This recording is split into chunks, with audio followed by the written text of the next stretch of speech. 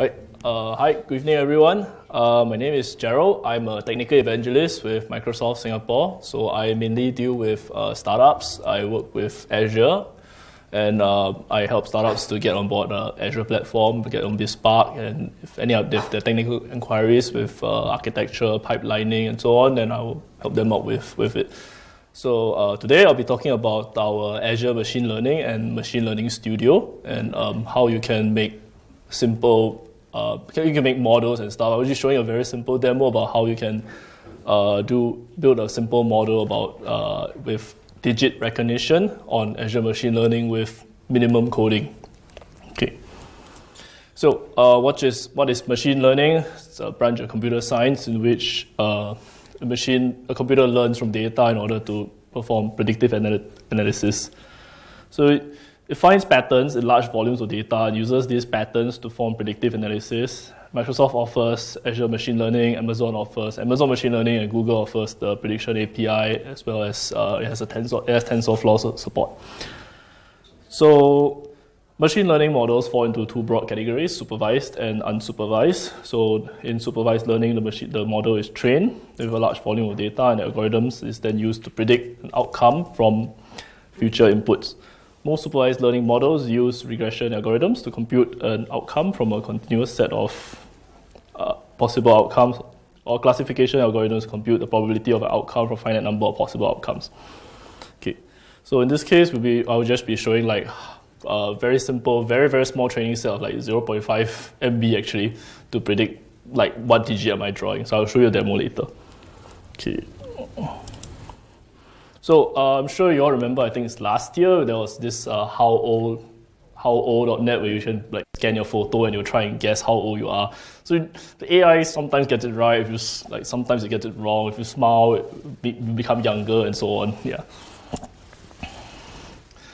So this is the timeline for like uh, how Microsoft has been using machine learning. It all started from like fil- basic filtering or junk mail. Then slowly built go on, builds on and on until today we now have this Azure machine learning, which you can which is makes machine learning more accessible to everyone. So Azure Machine Learning is a fully managed uh, cloud service for building and oper- operationalizing machine learning models. You can you, you it's you use the Machine Learning Studio, which is a browser-based tool that provides an easy way to do to drag and drop in. Uh, different models to do to quickly build your machine learning model. And then it and then you can just press run and then it will find a and then it will find a GPU instance and then just build your model out from there. So it's very efficient. You don't need to spin up expensive GPU instances. It gives you a quick way to quickly test your models out. And finally, there's also one, one last thing is that you can expose, the, after this, you can expose your model very quickly as a web service either as a trained model or to train the model from there. So that one I will show later as to how to expose uh, the model as web service. Okay. So this is a quote, quote from a graduate student who went to the University of Massachusetts. So he went to work for Microsoft afterwards, yeah. Okay. So Machine Learning Studio is a visual editor. It simplifies machine learning by providing drag and drop workflow. So gives you an assortment of modules which you can drag and drop and use. You can also insert R and Python code anywhere in the workflow if you need extra flexibility with your model. Okay, so machine learning starts with data, which can come from a variety of sources. The data is then needs to be cleaned before it can be used. Machine Learning Studio introduces modules to help with the cleaning. So if you need to like remove rows and missing data, remove duplicates or clean outliers. So you can do all this within a machine learning studio. So once that once the data is ready, you can select algorithm and train the model by allowing it to iterate over data and find patterns in it. After this comes, you you you can then score and evaluate the model, which tells you the model is able to predict the outcome. So this we can perform everything within machine learning studio. So after this, once you're done, you're satisfied with the model, you can then select deploy as web service and deploy as web service to do further testing. So uh, these are some of the machine learning algorithms available within Machine Learning Studio uh, I'm not a data scientist. I don't know like all any of them actually. But yeah, this might be of interest to, to you all if you if you have done the statistics. Yeah. So it has uh, 25 of the classic algorithms in the machine learning is divided into four categories: uh, anomaly detection, regress regression, and yeah, you check. okay, yes, the four main categories. Okay, so um, uh, just move on. So this is a simple linear regression. So it's used for statistical modeling. And, so. So training a linear regression model with millions of values can take time, but once the model is trained, using it to perform predictive analysis is fast because running a model involves solving the equation which coefficients may already been computed. Illustration is showing that uh, picking the right algorithm is important for building an effective module. Okay. Yeah. So this is the machine learning cheat sheet. Um, if you're interested, I can send, I can uh, upload the slides later as well. Uh, we have a GitHub for, for this as well, so you can take a take take a download and take a look further. Okay. Yeah. So deploying as a web service. So after this, well, when after you after you've done your model, built it, think it's okay, the scoring is all right, then you can select a button, deploy as a web service. So you can call using the REST API to call it, and then do you can either use select train a model or to give me an answer from the from the model. Okay. Yeah, so there's a free free ebook. I think it's a little outdated. I went to check. It's like 2015, so you can still take a look. Yeah, if you all want to copy down the link, you can. Yeah.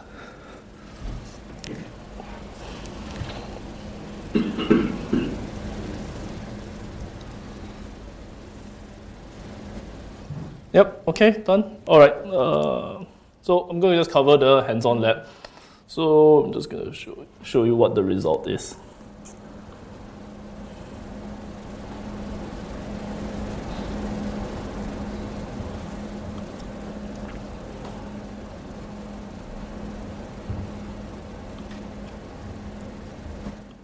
So for this, I actually it's actually uh, I've actually used one of the sample codes to build an Electron app. So this is a, a 64, 64 point grid for you to do your to, so it predicts uh, try and predict a digit. So it's not very accurate because it used the half a meg CSV. I can show you CSV later. Okay, so I'll just draw like I don't know eight, and then it says. Yeah, so it's not very accurate because it's a really, really, really small data set. And also because the resolution is really, really bad because it's like, uh, I think it's 1 16th of the actual resolution used to train the model, yeah, used to generate the, the, the raw data. So sometimes it gets it right, I guess. I guess the demo gods are just not. Ah, okay, fine. So seven words. Yay! so yeah, so I'll just show you like how, how, how, how, how, how you can build something like this to connect a client to your machine learning model. Really simple one. Okay, um, switch over. So uh, this is uh, Azure portal itself, and then afterwards uh, you can we can just start creating like a new machine learning workspace. So we have a free tier for the machine learning workspace. Uh, I'm not sure what the exact details is. I need to go and check. But there's a, I think there's a free tier, and the cost-wise is a lot less uh, uh versus you spinning out a GPU instance, installing Spark, etc., etc., onto onto onto the onto the virtual machine. Okay.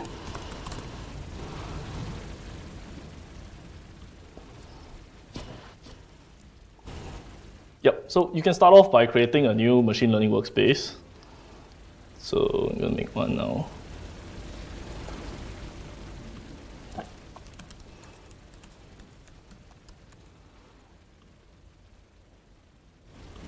Okay, okay, okay, okay, okay.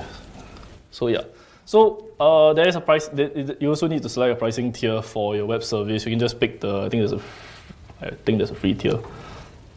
Okay, so I've already picked the free tier before, so I'm not allowed to use the free tier again. So, but you, for your first time, you can pick the free tier. So it's three dollars a day, but you can just turn it off when you're not using it. So yeah.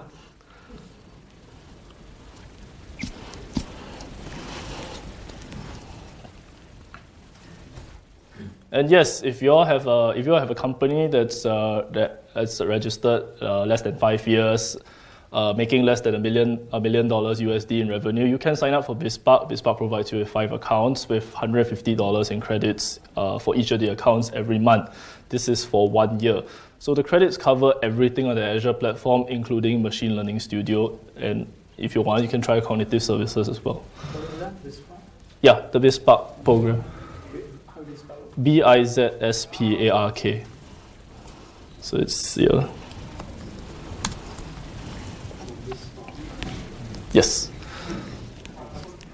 So this is for startups who are interested to get onto the Azure platform and just try out a bit of our services. So it covers I think, everything on the Azure platform.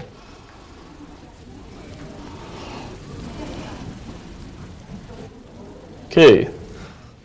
So I'll just assume that everything got created. So once it's, once it's all done, you can go to Machine Learning Studio, and then you can pick up your, and then you can create your new project and your stuff.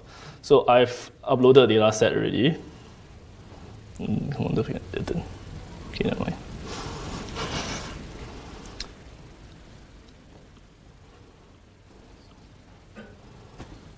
Yo, okay, so another, another thing that might be interesting is that uh, this Machine Learning Studio is also integrated with uh, Azure Notebooks. So this gives you a, a, Jupyter Notebook instance. This is currently a free service. So you can go to, I think, notebooks.azure.com and uh, play, create, uh, create Jupyter Notebooks to share and, and play around with. So this is currently a free service.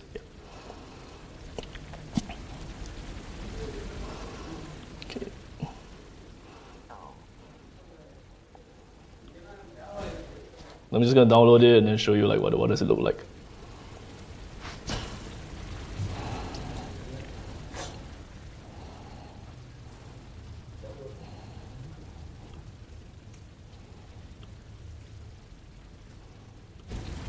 Yep. So there's uh, 64, 64 points on the on the grid just now, as you saw just now. So this is the this is what the data set looks like. So will try and predict like what digit is there based on the based on what is currently shown on the on the grid. Okay, so so we go to experiments and then you create a new experiment. yes? Yeah, sure. Hold on.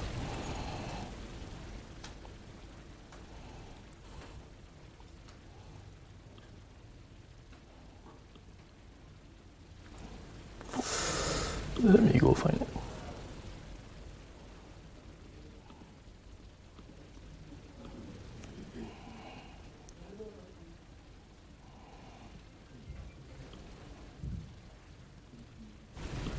Yeah. So what does the number mean? Zero means is empty. Numbers means what? Intensity. Yeah, I, I think it's intensity because uh, this is this was actually uh, pulled from a from a more higher resolution data set. So this is this was like I think it's the percentage fill of the of the square itself. So that's why the, the, the, the model is not very very accurate at the moment. So this then the P0102 is, is the is the position on the grid itself. Yeah. Okay. So yeah, so how do you how do you start this? So you create a new machine learning project, then you go to your save data sets. After you upload a data set, then you can just drag and drop. Then you uh, then you start from the data set. Okay. Hold on. Hmm?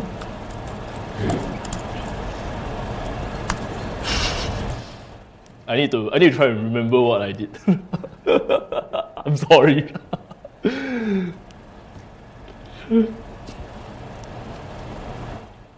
By the way, this entire thing is available here on, on our on our GitHub. It's uh, machine learning workshop. We'll cover like how do you do how do you use Azure Machine Learning to build a simple model. It comes with resources like how do you how to use how to build a simple Electron app to connect to the, the client. You can build it. You can also build any other client also as well.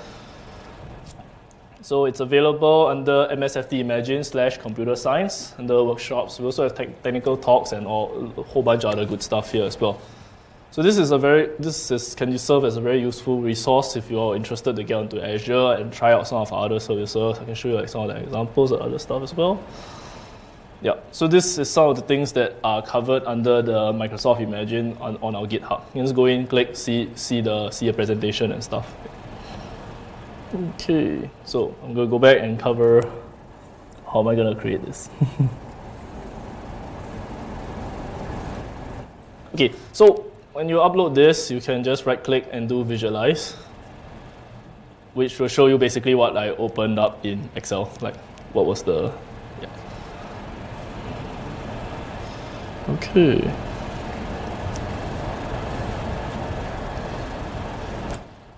So the variables is uh, each row represents a digit from uh, 0 to 9. Uh, let me just go and right click and visualize. So each row rep uh, represents a digit from 0 to 9. So as you can see here, the final, the final column. So this data set is 3,826 rows and 65 columns. The first 64 columns contain value from 0 to 16 representing 4 by 4 groups of blocks of pixels. So each digit in the data set was scanned into a 32 by 32 array and it yields a total of uh, 1024 pixels per digit. So this each scan is represented by 64 values, each representing 16 pixels. So yeah, resolution is terrible. okay, so what we are trying to train for is the final value here, this uh, the digit here.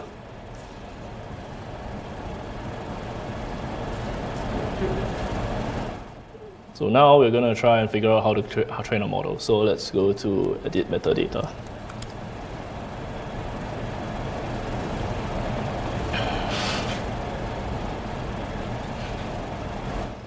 Okay, so we're gonna change the data type a little bit. Hmm. Launch column selector. So we want to grab the digit out. And then we'll make it make it categorical. And then we just save. So another thing is remember to save regularly. If it, it, doesn't save automatically and you don't want to be working on a lot of stuff and then you forget to save and you close your browser by mistake and got to start over again. It's really, really bad. I've really, I already had that twice happen when I was testing the demo out. So yeah, that's not good.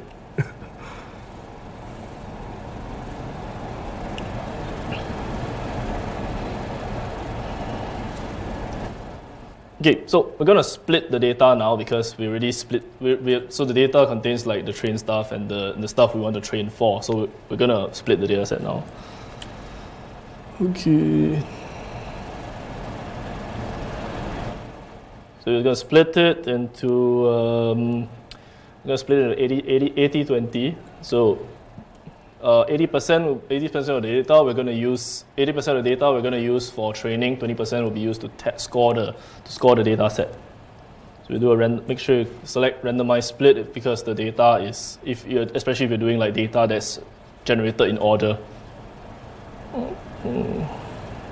Let's see if then I'm going to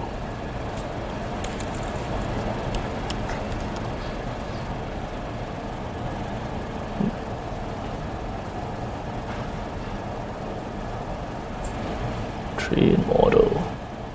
Where's my train model? Okay, train model. So we're gonna train the model now. Okay, so it's complaining. So we're gonna launch a column selector, select a column.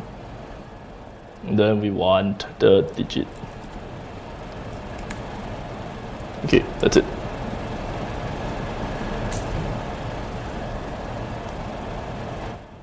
And then we're gonna use a multi-class logistic regression, I have no idea what that is.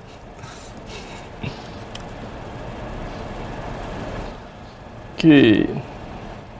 Select, drag, drop, generate. So you're gonna save it, We're gonna run.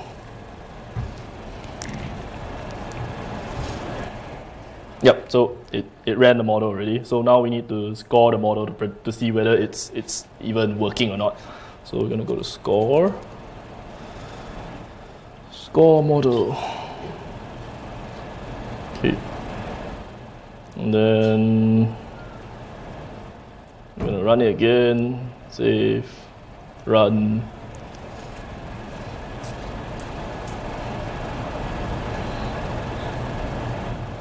Okay, so it's uh, scored already, and then let me go and see.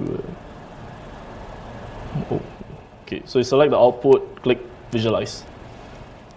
So now you're going to visualize the scoring.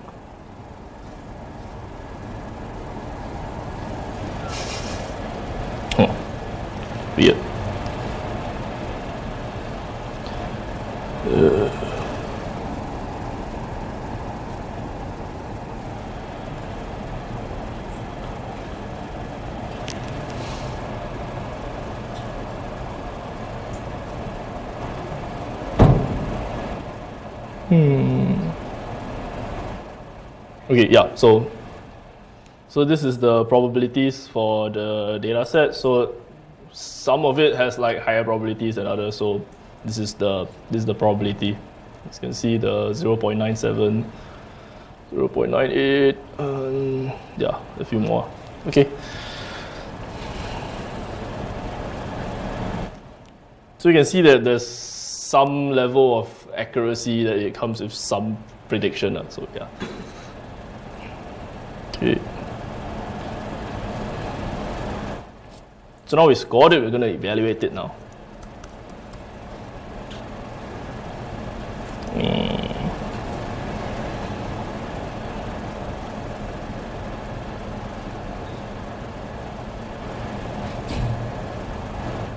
Hmm. Save.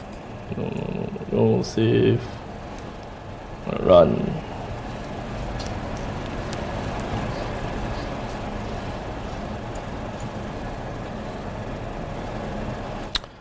So we're gonna evaluate the model and see exactly how accurate was our scoring. Okay, as you can see, the overall accuracy is 0.97. It is clearly not 0.97 as I will demo later again. but yeah, so you can use this to quickly like evaluate your scoring and see how, how well does it actually score based on what you what you're checking. Hmm. Okay, so now that we have built a model that is supposedly 97% accuracy, you gotta go test it on some real world stuff, right? Yeah, so very quickly you can just select set up web service.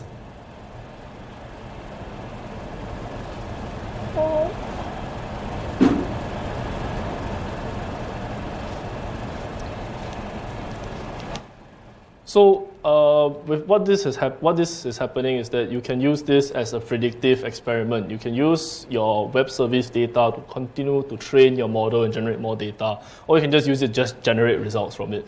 So it depends on what you want to do with your web service. Okay, I think I need to save and run. So yeah, so as you can see, there are two tabs. There's a training experiment, there's a predictive experiment. So now we've converted the training experiment to a predictive experiment to try and predict stuff with it. So deploy.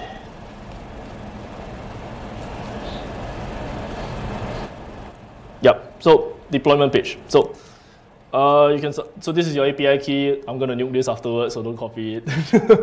okay, so you can do you can test your request response. You can test batch ex execution as well, and then uh, yeah, yep, yep. So this is your post. This is the URL they want to post to, and you use your API key and post it there, and then you get you can get results. So I'm gonna just show you the code. So the codes is basically a very simple Electron app. It is also available on the GitHub. It uh, takes a little bit of getting to work. So yeah, yeah. So it's very simple. You just go in, scroll down, fill in your URL and your API key. Yeah, you all can see, right? Okay, so it's very simple. Just fill in your URL, API key, and just press run. Hmm. Once that's done, we will have a, we will have a small grid system. Hello, yes. So yeah, so you see the 64 grid, and then you generate, and you just draw stuff, submit. Yeah, it's clearly not. It's clearly not 97%. okay. Or draw. I don't know. It's that's definitely a four. okay, some numbers are definitely a lot easier than to predict for it to predict than others. Yeah. So what number you all want? One. You'd be surprised how badly that scores. so I'm gonna draw a more nicer one. What, what do you think it is? It's a four. yeah. So yeah, it's clearly a very, very new, very needs a lot of tuning model. But hey, it was really, really fast, right? You just drag, drop, drag, drop, click, run, and then you can you can come up with web service very, very quickly. So did you that you scale down the this is the data set or scale. The data set's resolution is scaled down. So yeah, we're going to get the actual brief on what actually happened. Hmm? Why didn't you use the, the original one? I think it's uh, I think it's because it takes a lot longer to, to train. Uh. I'm not sure. Uh, let me just see. Also, data set was only like half a meg, so it's not very very big at all. Yeah. So the grid display uses one sixteenth the res the scans that the model was trained with. Yeah. So that's also why the the the accuracy is a lot lot worse. So yeah, so with this, I've just shown you like how do you create a machine learning experiment, how do you load a data set, train train your data set with the with the mo model and deploy it as model, and then call it with, the with a REST API. Okay. All right, I am done. Uh, do you have any questions? The data set which you're using, connect directly to SQL Server? Yeah, I ju- you can just uh, you can just go to the machine learning studio and uh, let me go back and find it. I believe you can connect with SQL Server and uh, other services as well.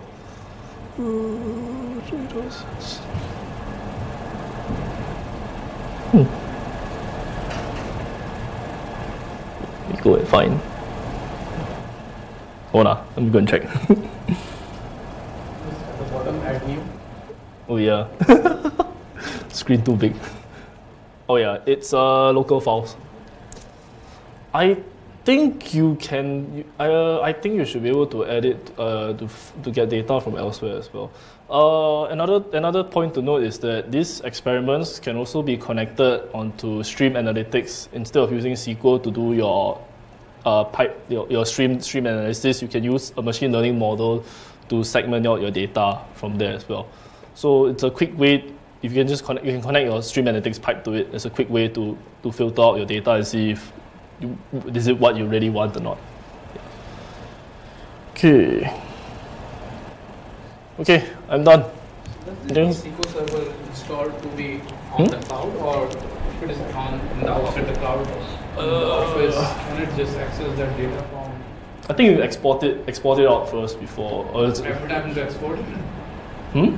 Every time you export from a local machine to Yeah, if you're gonna if you're gonna uh, update your up, keep updating your data set. It's true.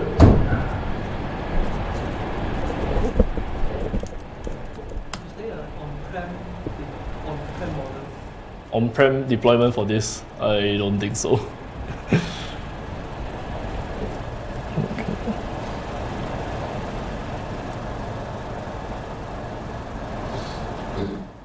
Actually, there's a very new article that says you can actually use Azure Machine Learning with your on-prem SQL Server as well. Hmm. Something new, I guess. Where's the? Oh yeah, it's here. So, hold on. ah.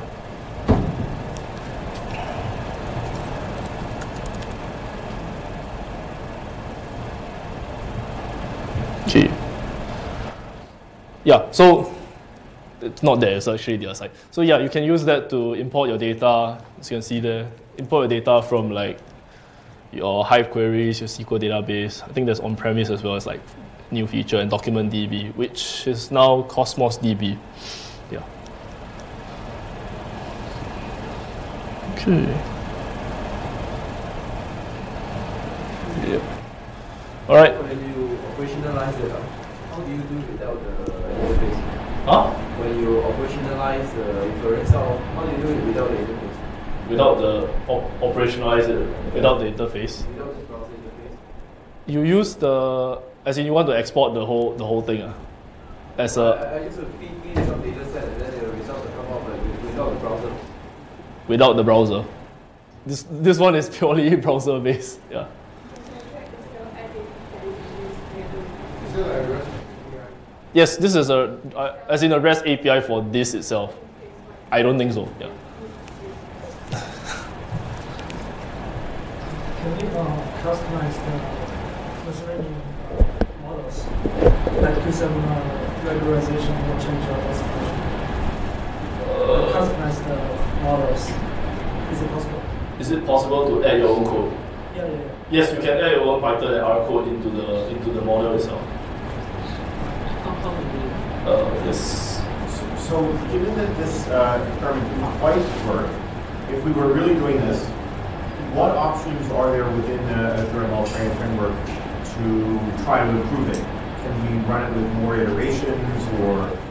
You probably, you- I think the thing was that the data set was relatively small as well as the resolution was pretty bad, so it was already, a- yeah. So if we, if we up the accuracy of everything, it should run better. You know, so, so that's, that's always a good thing to do, to have a million lines or, or to build something that's ten twenty-four instead of Yeah. sixteen by six. But let's, even in that, even in that case, if it was ninety-seven percent for real and we want to try to get to ninety-nine, are, are there other options within here for like, like I said, more, more iterations or different model or tuning parameters or, or is this just the sort of, that's Azure, that's, that's it? Uh, this is this is this is this is as much as I do know about this. Okay, so next month my senior te- technical evangelist will cover a deep dive into this, the further the, the further on. This is more like a introductory sessions to basic basic way of how, how to how to do it. So, yeah. So if you're interested, you can go bombard him with questions this month. You talking about Uja? yeah, Ujwal. Ujwal has done uh, done this a lot a, a lot more a lot more already, so he's better this. Okay, uh, anything else? Uh, you see like what other things on like like in RapidMiner you can do things like boosting and all that. Boosting it. Mm, try try search it.